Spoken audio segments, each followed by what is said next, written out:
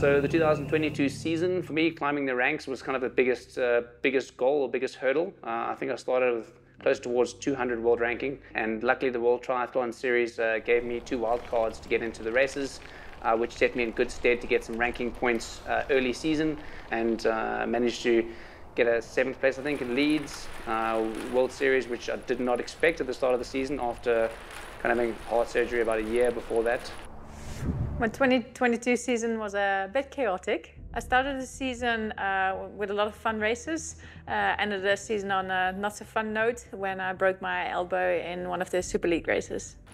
When I crashed, I knew something was really wrong. I'd never broken something, but in this case, I knew it was different than any of my other crashes.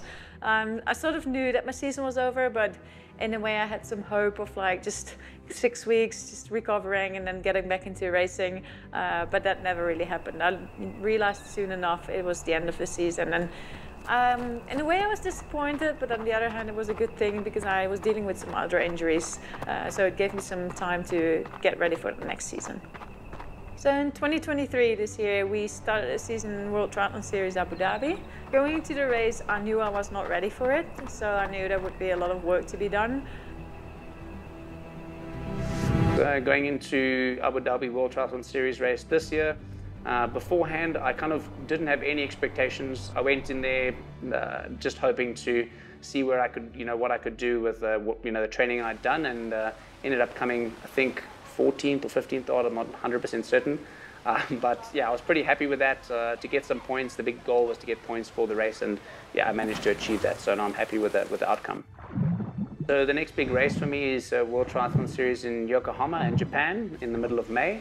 For me, that's a qualifying race. So that one, and then two weeks later, we've got a race in Cagliari, also a qualifying race, World Triathlon Series.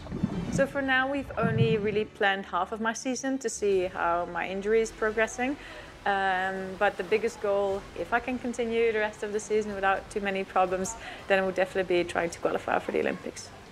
We know we both have our goals, uh, they're very similar. We know it's going to be tricky to maybe reach those goals, um, but in the meantime, we're also making plans for the near future, which is also very exciting. For Rachel and I, um, uh, we definitely feel like giving back, connecting Europe and and, uh, South Africa in some ways uh, as well as parts of Africa, trying to get the kids and guys out to Europe, get them the exposure that uh, we can. I kind of didn't get myself when I was a junior. Um, that's kind of a, a, bit of a giving back thing. So that's definitely something that's quite a passion of Rachel and myself uh, coming coming in the in the near future.